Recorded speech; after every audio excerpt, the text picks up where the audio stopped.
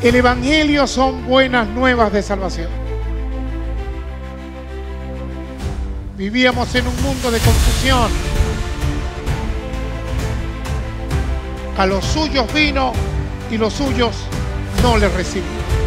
Pero a los que le recibieron les dio potestad de ser hechos hijos. Donde quiera que se presente, porque usted no se anda predicando usted mismo. Usted anda predicando a Cristo Jesús.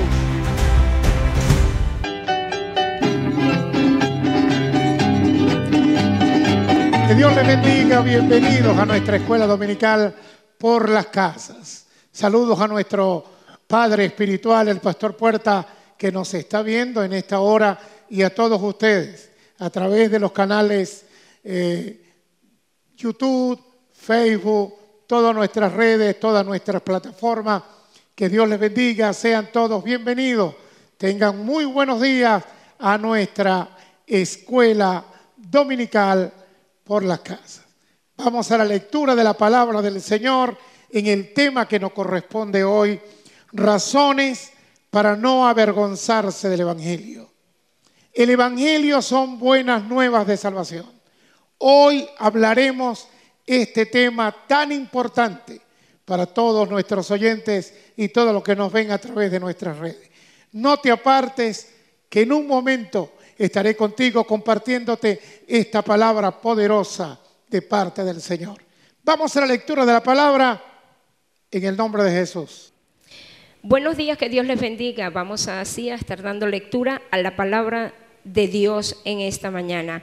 La lectura nos ocupa en el libro de Romanos, en el capítulo 1, desde el versículo 1 hasta el versículo 16.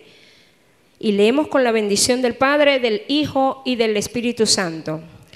Pablo, siervo de Jesucristo, llamado a ser apóstol, apartado para el Evangelio de Dios, que él había prometido antes por sus profetas en las santas escrituras, acerca de su Hijo, nuestro Señor Jesucristo, que era del linaje de David según la carne, que fue declarado Hijo de Dios con poder, según el Espíritu Santo de santidad por la resurrección de entre los muertos y por quien recibimos la gracia y el apostolado para la obediencia de la fe en todas las naciones por amor de su nombre, entre las cuales estáis vosotros también llamados a ser de Jesucristo, a todos los que estáis en Roma, llamados de Dios, llamados a ser santos, gracia y paz a vosotros, de Dios nuestro Padre y del Señor Jesucristo. Primeramente doy gracias a mi Dios mediante Jesucristo con respecto a todos vosotros de que vuestra fe se divulga por todo el mundo.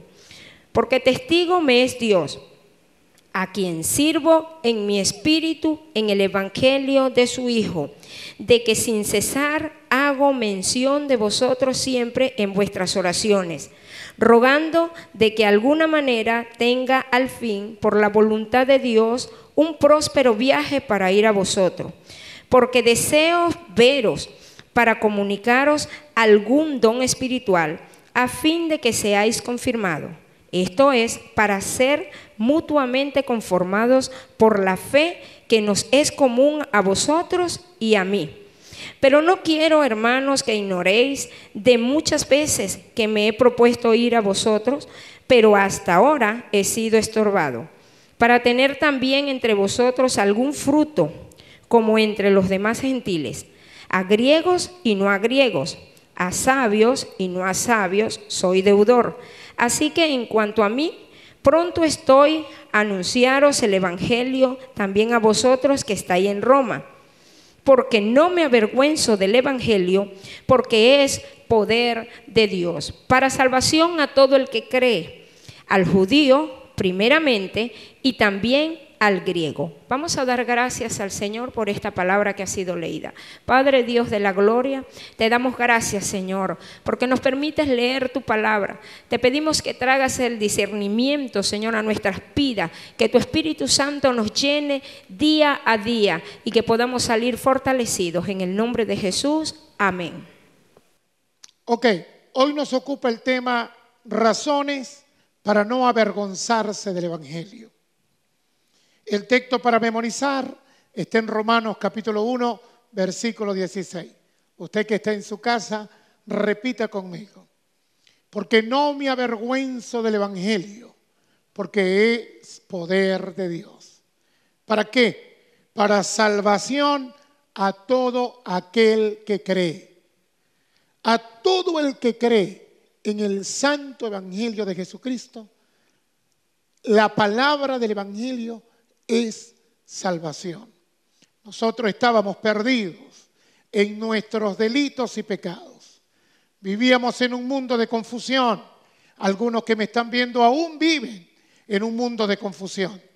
Perdidos algunos en las redes, perdidos otros en problemas, sumergidos en depresiones.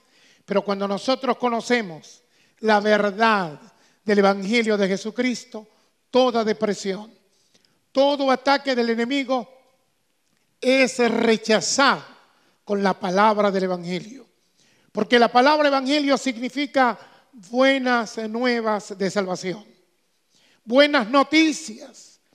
El apóstol en Romanos lo relata. Dice Pablo, siervo de Jesucristo, llamado a ser apóstol, apartado para el Evangelio de Dios, que él había prometido ante por sus profetas en las sagradas escrituras. Elías, Eliseo, Isaías, todos los profetas mayores o todo el Antiguo Testamento habló de la venida del Señor Jesucristo. Todo apuntaba a que el Mesías venía a traer buenas nuevas de salvación. El Mesías llegó como dice la escritura, a los suyos vino y los suyos no le recibieron. Pero a los que le recibieron les dio potestad de ser hechos hijos de Dios. Usted que me está viendo en esta mañana, el Señor le dice, te he dado la potestad de ser hecho hijo de Dios. Por eso usted tiene que hablar como hijo de Dios. Usted tiene que andar como hijo de Dios. Más allá de la crisis, más allá del problema que haya, siempre levante sus manos en victoria y diga, tengo a Cristo Jesús y tengo buenas nuevas de salvación. Tengo el Evangelio, tengo el poder de Dios para declarar, para echar fuera demonios, para orar por los enfermos y que sean sanos. Tengo la potestad de declarar sobre la tierra lo que Dios va a atar en el cielo. Y tengo la potestad de desatar en la tierra lo que Dios va a desatar en el cielo. Entonces, mis amados hermanos, comencemos diciendo que el Evangelio es el mensaje de Dios para el mundo, que vino directamente desde el cielo. Cristo lo vivió, lo predicó y mandó a que todo el mundo lo predicara. Usted, mi amado hermano, mi amada hermana, tiene el deber, tiene la autoridad de predicar la palabra del Señor, de vivir el santo evangelio así como Cristo los vivió. Porque Cristo dijo, ejemplo os he dado, para que como yo haga, vosotros también hagáis. Dice el apóstol, he querido ir a ustedes, hermanos romanos, a explicarle por qué Cristo vino a este mundo. La epístola de los romanos se refiere a que todos somos pecadores. Romanos 3:23 dice, por cuanto todos pecaron, están destituidos de la gloria de Dios. Pero Dios quiere entregarnos a nosotros la bendición a través de su santo evangelio. Pablo le escribe a los romanos su deseo de visitar a Roma. Primeramente dice el versículo 8, doy gracias a mi Dios mediante Jesucristo con respecto a todos vosotros, de que vuestra fe se divulga por todo el mundo. Impresionante lo que dice el apóstol. Doy gracias a Dios, mis estimados hermanos romanos, que la fe que ustedes tienen a través del Evangelio se divulga por todo el mundo. Gloria a Dios por nuestro Padre Espiritual. A través de todas nuestras plataformas digitales estamos divulgando el Evangelio del Señor Jesucristo, las buenas nuevas a todo el mundo. Estamos sembrando huertos familiares en todas las iglesias, luz del mundo. Estamos fomentando el crecimiento de la palabra. Estamos fomentando el crecimiento misionero en todas las naciones. Y estamos divulgando buenas noticias a todo el mundo. Para que todo el mundo conozca lo que está sucediendo en Venezuela a través de la obra evangélica Luz del Mundo y a través de todas nuestras misiones en el mundo entero, en los cinco continentes. El Señor nos ha dado la bendición de nacer aquí, en la ciudad de Guanare, y extender su santo evangelio a los cinco continentes. No hemos cesado. 56 años tiene nuestro Padre Espiritual llevando la palabra de Dios, dando ejemplo hasta el día de hoy, cómo se predica el Evangelio, cómo se vive el Evangelio y cómo se extiende el Evangelio. Entonces Pablo dice, doy gracias a Dios de que las noticias que me han llegado de ustedes es que ustedes andan en el camino de la verdad. Ustedes andan predicando el santo evangelio y levantando a Cristo. Porque Cristo dijo que si yo fuera levantado a mi Padre, a todos atraeré a mí. Si usted levanta a Cristo, Él le va a traer. Él va a traer a su familia. Él va a traer todo lo que usted desee. Porque si Él es levantado, a todos atraerá a Él. El apóstol dice, porque testigo me es Dios, a quien sirvo en mi espíritu, en el Evangelio de su Hijo. Y yo voy a repetir este versículo. Porque testigo me es Dios, a quien sirvo en mi espíritu, en el Evangelio de su Hijo, que sin cesar hago mención de vosotros en mis oraciones. De dos formas puede andar un cristiano. O andas en el espíritu o andas en la carne. Mira cómo el apóstol señala, porque testigo me es Dios a quien sirvo, a quien sirvo en mi espíritu. Eso fue lo que el apóstol Juan dijo en Apocalipsis 1.9 yo estaba en el Espíritu en la isla de Patmos. Cuando usted está en el Espíritu, la presencia del Señor va a invadir su vida continuamente. Pregúntenselo al profeta Ezequiel, capítulo 37, dice, el Espíritu de Dios me llevó al valle de los huesos secos. Y me preguntó, hijo de hombre, ¿estos huesos vivirán? Y yo le dije, Solo tú, Jehová, lo sabes. Eso sucedió en el Espíritu. Cristo fue trasladado en el Espíritu al desierto para ser tentado por el mismo Satanás y salió en victoria porque Cristo andaba en el Espíritu. Y en el versículo 9, el apóstol relata, porque testigo me es Dios, a quien sirvo en mi espíritu. En el Evangelio de su Hijo, de que sin cesar hago mención de ustedes siempre en mis oraciones.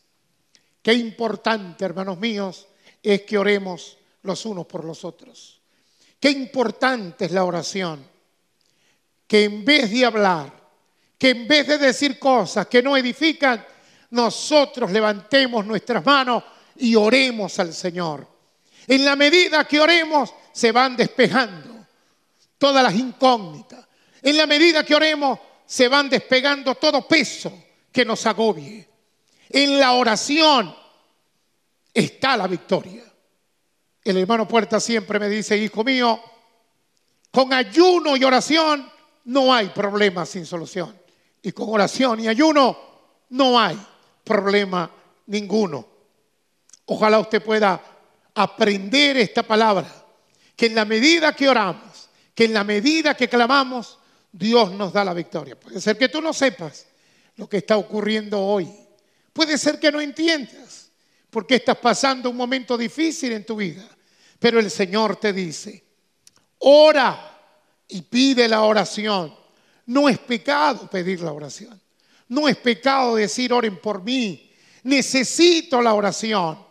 Necesito que me ayuden a levantar las manos. Necesito que oren por mí. Necesito que el Espíritu de Dios me guíe. En la medida de que tú pides la oración, es una señal de humildad. Pero también tú debes orar por otros. También tú debes clamar por otros. Nunca ayunes por ti mismo. Nunca hagas un ayuno de victoria por ti mismo. Ora por otro. Ayuna por otro que por ti otros están orando.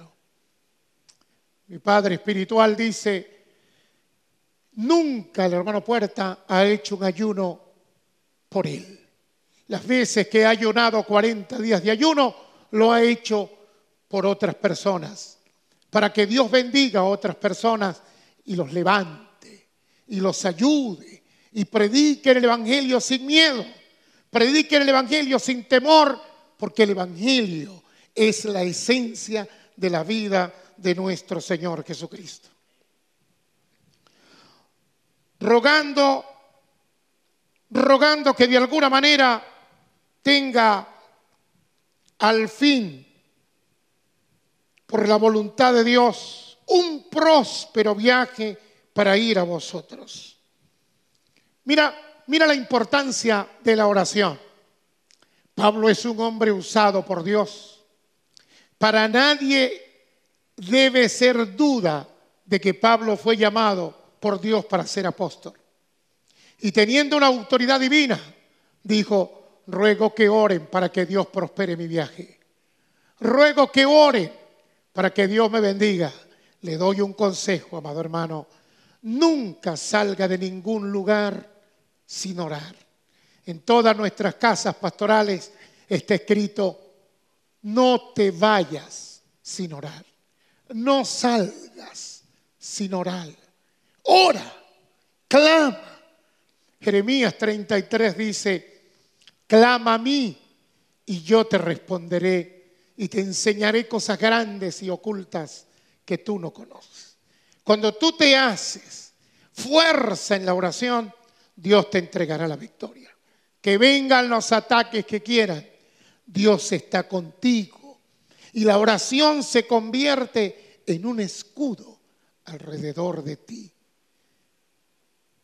Dice el versículo 11, porque deseo veros para comunicaros algún don espiritual a fin de que seáis confirmados. Esta es la vivencia de la iglesia primitiva. Esto es lo que nos has enseñado, lo que Dios nos ha enseñado desde niño. Predicar el Evangelio, hacer campañas por todo el mundo y luego confirmar a nuestros hermanos. Luego enseñarles la palabra de Dios. Luego hacer discípulos. Luego confirmarles en el Espíritu Santo para que ellos tengan poder para predicar el Evangelio de Cristo Jesús. Eso lo hizo Dios con Pablo. Eso lo hizo Dios con él. Lo tumbó, cayó al suelo y le preguntó, Saulo, Saulo, ¿por qué me persigues? Y él preguntó, ¿quién eres? No te persigo. Y el Señor carmadamente le dijo, ¿Por qué me persigues a mí? Soy Jesús a quien tú persigues. Si tú los persigues a ellos, a los que predican mi nombre, me estás persiguiendo a mí. Lo dejó ciego durante tres días y le mandó a Ananías. Y le dijo, Ananías, vaya a la calle derecha de Damasco, allí le está esperando un hombre llamado Saulo de Tarso. Ananías sabía quién era Saulo. Y le dijo, Señor, ¿usted sabe a quién usted me está mandando a predicarle? El Señor sabe, el Señor sabe que cuando tú prediques su santo evangelio, los enfermos se van a sanar, los demonios van a correr. No le tengas miedo cuando Dios te mande a predicar su palabra. Predica con autoridad, predica la palabra que Dios te va a respaldar, porque Dios respalda su palabra. Dice el versículo 13, pero no quiero, hermanos, que ignoré que muchas veces me he propuesto ir a vosotros, pero hasta ahora he sido estorbado. ¡Wow! ¡Qué revelación nos da el apóstol! Cada vez que usted se propone un sueño, cada vez que usted se propone un proyecto, créame que el diablo lo va a estorbar. El enemigo lo va a estorbar. Cada vez que usted se proponga levantar a Jesucristo, el enemigo no va a querer que usted levante a Jesucristo. Lo va a estorbar. Pablo se propuso ir a Roma y fue estorbado. Quiero que sepan que fui estorbado. Yo quiero que tú sepas, tú que me ves en esta mañana en esta escuela dominical, el Señor te dice, tú vas a ser estorbado. Pero si tú oras, si tú clamas, yo te entregaré la victoria. Qué promesa tan grande. Yo siendo usted pego un grito. Yo siendo usted digo un gloria a Dios muy grande. Y digo, gracias Señor, que hoy tú me revelas que en los proyectos, que en los emprendimientos va a haber estorbo, pero también va a haber victoria. Versículo 14 a griegos y a no griegos, a sabios, a no sabios y a no sabios, soy deudor. Así que en cuanto a mí, pronto estoy a anunciaros el Evangelio también a vosotros que estáis en Roma. ¿Qué nos explica el apóstol? Una vez que él conoció la verdad, se hizo deudor de predicar el Evangelio al mundo entero. El pastor siempre dice, he tenido un sueño de poner un pie en la luna y otro pie en el sol y predicarle al mundo entero que Jesucristo es el Señor. Qué grande. Permita Dios que nosotros tengamos ese sentir del apóstol Pablo. Soy deudor. Esta salvación que ahora poseo siento deuda, siento un peso de predicar que Cristo salva al mundo entero. Cuando me convertí siendo un niño, sentí la necesidad de predicarle al mundo entero este santo evangelio. Quería que el mundo entero conociese la verdad, que Jesucristo es el Señor, que Jesucristo sana a los enfermos que Jesucristo salva, que Jesucristo bautiza y da poder. Siento que el apóstol Pablo sintió ese peso que hoy he sentido yo, que ayer lo sintieron nuestros padres espirituales. Porque todo el que va sintiendo, que va siendo salvo, tiene la necesidad y es deudor de llevar este mensaje al mundo entero. Usted que un día aceptó al Señor como su Salvador, usted tiene la responsabilidad de llevar este bendito Evangelio de Cristo al mundo entero. Hágase deudor, hermano mío, hermana mía, hágase deudor. Sienta agradecimiento de que el mismo Cristo que lo salvó a usted quiere que a través de usted sea predicado este santo evangelio y que usted no se avergüence, que levante la cara donde quiera que se presente, porque usted no se anda predicando a usted mismo. Usted anda predicando a Cristo Jesús. Él mandó a sus discípulos y por todas las naciones y prediquen este evangelio. Por eso usted no debe avergonzarse. Pablo una vez que conoció la verdad, nunca más se avergonzó. Dijo, tengo deuda con los griegos, con los judíos, tengo griego, tengo deuda con los romanos, de que conozcan la verdad que yo ahora estoy conociendo. Dice el versículo el 15. Así que cuanto a mí, pronto estoy, impresionante. Una vez que entiendo esta verdad, estoy pronto. ¿Para dónde tengo que ir? ¿Con quién enfermo tengo que hablar para orarle y para hablarle de Cristo Jesús?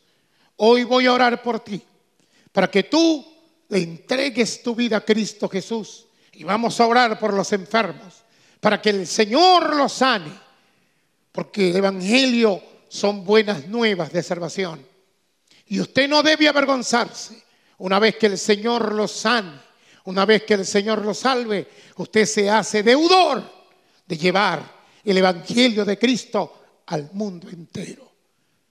Una vez que conocí al Señor, no he tenido por qué avergonzarme del Evangelio de Cristo, porque el Evangelio es poder de Dios.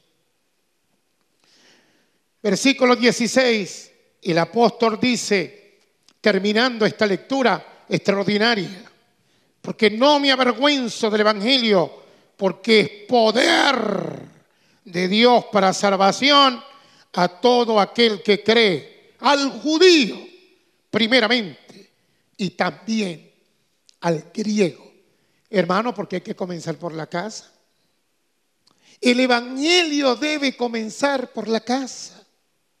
Existe el Evangelio según San Mateo, el Evangelio según San Marcos, el Evangelio según San Lucas, el Evangelio según San Juan y el Evangelio según tu testimonio, según mi testimonio.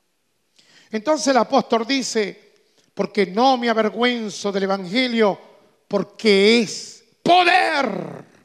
Y esa palabra no se puede decir blandito.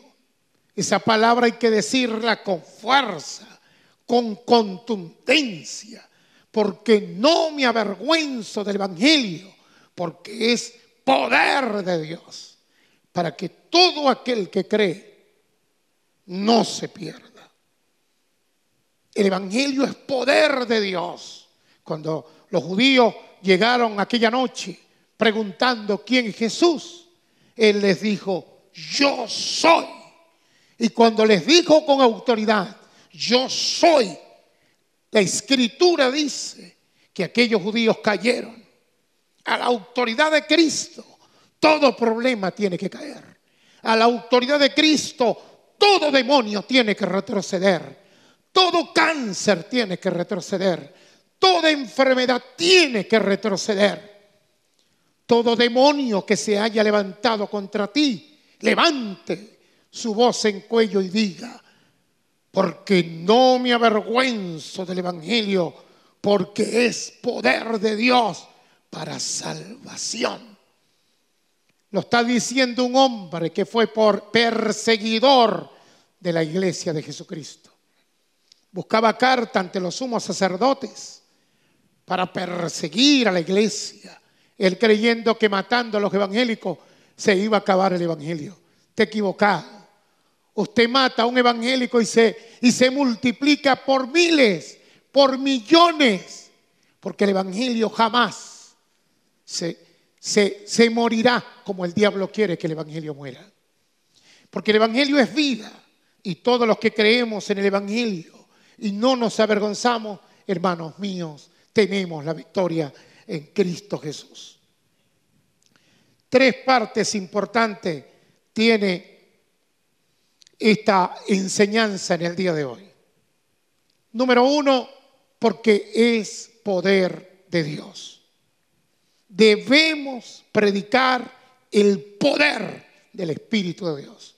A lo largo y ancho de nuestro territorio hemos visto cómo Dios sigue tocando, sigue salvando, sigue sanando a todos los que han creído en Él. Debemos anunciarle al mundo sin miedo que Cristo es el que sana, que Cristo es el que salva. No se predique usted mismo, no hable de usted mismo. Quítese ese yoísmo de su vida, sino que predique a Cristo, levante a Cristo, que levantando a Cristo usted también será levantado. Permita a Dios que en esta mañana nosotros podamos entender, amados hermanos, que hay que levantar a Cristo y no avergonzarse. Yo soy un hombre con defectos, soy un pecador, igual a ustedes, pero mi Cristo no. Mi Cristo no. Mi Cristo dio su vida por nosotros en la cruz del Calvario, para que nosotros pudiésemos andar con la frente en alto y decir, no tengo nada que avergonzarme. No me avergüenzo del Evangelio. Hay gente que se entrega al Señor y les da pena cargar la Biblia. Les da pena que le digan, hey, tú eres evangélico. Hermanito, no se avergüence. Diga, sí, soy evangélico. A mucha honra soy evangélico. Soy hijo del Dios viviente. Soy hija del Dios viviente camine con rectitud, con su frente levantada. Usted no tiene por qué avergonzarse si usted predica el Evangelio de Cristo Jesús. Este hombre perseguía a la iglesia. Este hombre atacó, fue testigo de la muerte del diácono Esteban. Sobre él tiraron las vestiduras llenas de sangre de Esteban. Pero después que él conoció a Cristo, dijo, no tengo de qué avergonzarme. Cristo me perdonó. Usted puede haber lo que usted puede hacer lo que pudo hacer en el mundo. Puede haber sido un borracho, un adúltero, un fornicario. Pero si el Señor lo rescató a través de su santo evangelio, levante la frente y diga, yo no tengo de qué avergonzarme. Yo estoy predicando el evangelio que es poder de Dios no poder del pastor Cabrera, no es el poder del doctor Puerta, es poder de Dios para salvación a todo el que cree. Maravilloso esta verdad. Entonces, mis amados hermanos, prediquemos el Evangelio. ¿Es poder el Evangelio del Espíritu de Dios o no lo es? ¿Es poder el Evangelio para salvación o no lo es? Si tú crees que el Evangelio es poder de Dios para salvación, levanta la frente y predica el Evangelio de Cristo. No el Evangelio dado por los hombres, el Evangelio dado por Cristo Jesús para los que creemos. No son palabras cualquiera, son palabras dadas por el eterno Hijo de Dios. Número dos, porque Jesucristo es el único camino al cielo. El versículo 17 del libro de Romanos capítulo 1 dice, porque en el Evangelio la justicia de Dios se revela por fe y para fe, como está escrito, el justo por la fe vivirá. De manera, amados hermanos, que fe es creer. Cuando usted cree en el Santo Evangelio, que vengan los ataques de donde vengan, a usted nadie lo va a mover de la roca eterna que es Cristo Jesús. El Espíritu de Dios lo envolverá y usted quedará cubierto por el poder del Espíritu de Dios. No se avergüence de hablar en lenguas.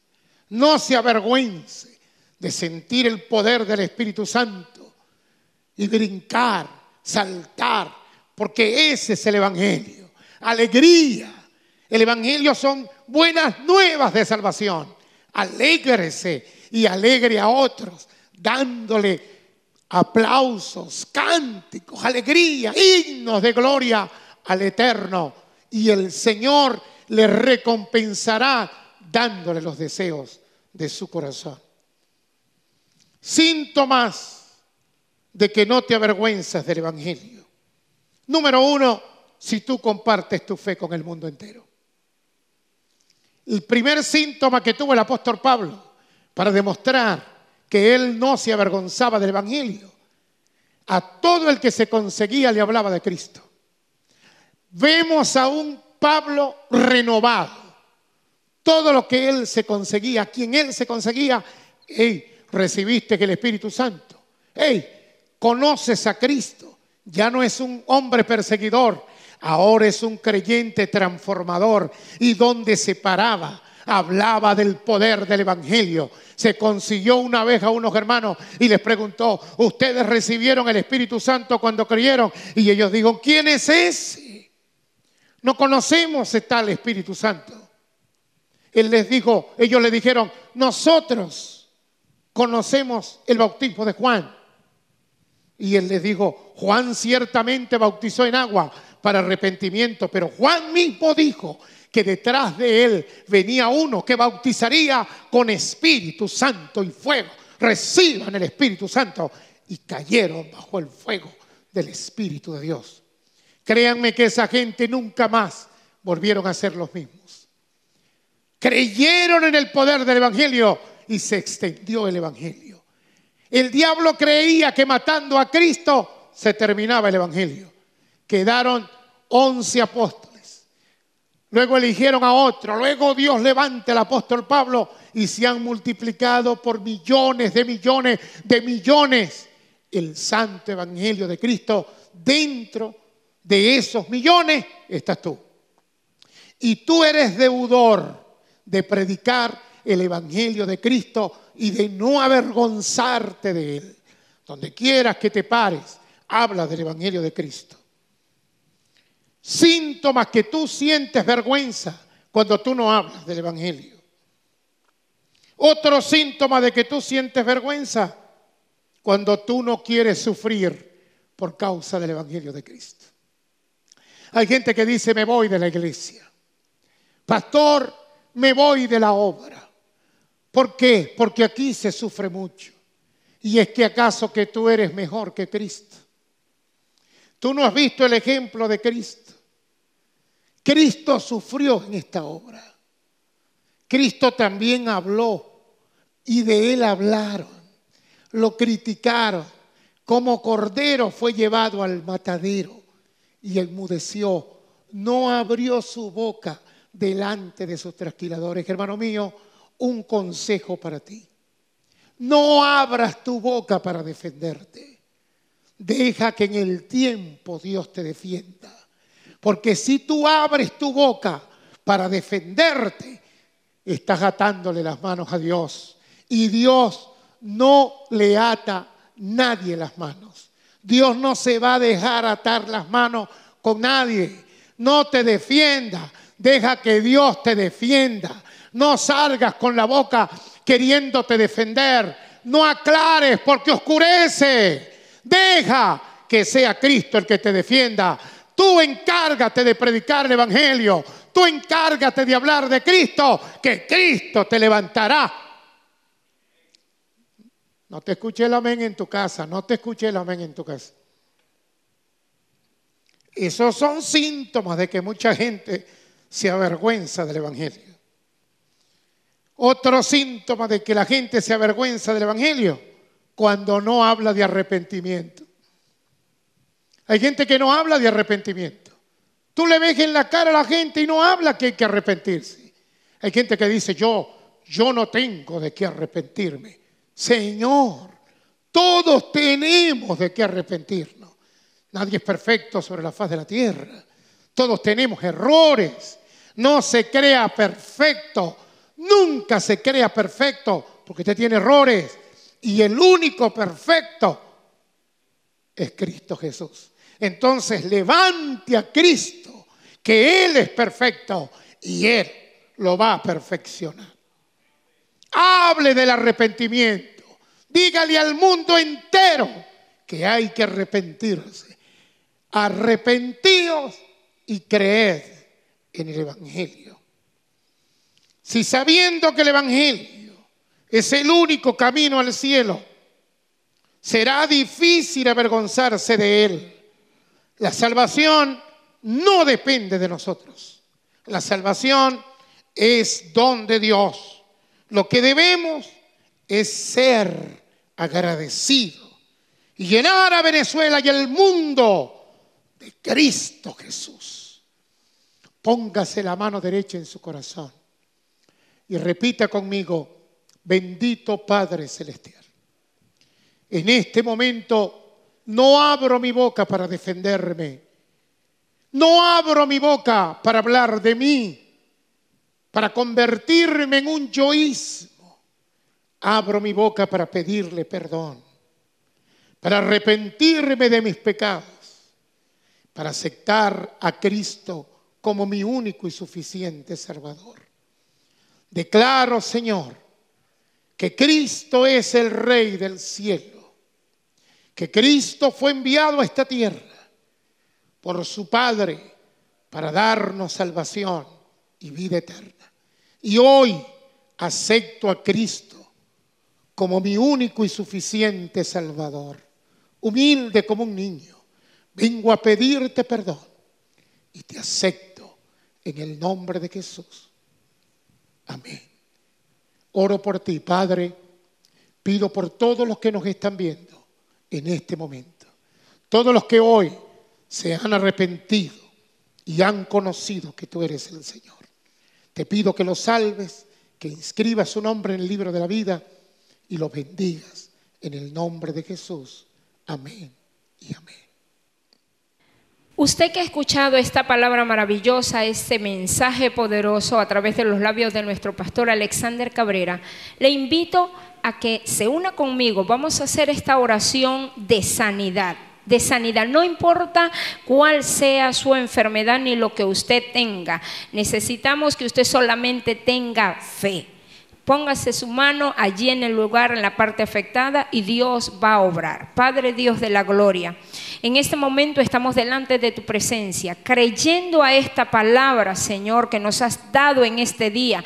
Ahora ordenamos que toda enfermedad salga del cuerpo de los que están allí en sus hogares, los que están allí en sus casas, en su trabajo, que nos están escuchando, nos están oyendo y están creyendo, Padre Santo, que tú eres el mismo de ayer, de hoy y por todos los siglos. Ahora ordenamos a esa enfermedad que salga fuera. Ordenamos a ese demonio de cáncer que ahora salga, desaparezca de este cuerpo. En el nombre de Jesús, enfermedades renales, enfermedades neurálgicas, ahora en el nombre de Jesús de Nazaret, te ordenamos que retrocedan por el poder de la sangre de Jesús. Satanás, tú estás vencido Tú estás vencido porque el Señor Jesucristo te venció en la cruz del Calvario. Y ordenamos que ahora dejes libres esos cuerpos por el poder de la palabra. En el nombre de Jesús. Amén.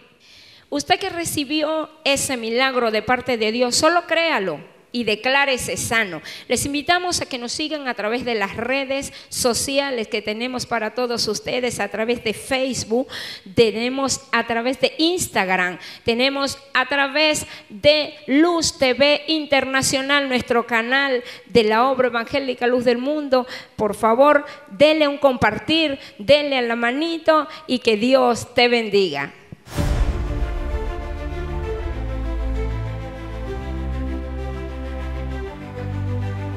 El Evangelio son buenas nuevas de salvación. Vivíamos en un mundo de confusión. A los suyos vino y los suyos no le recibieron.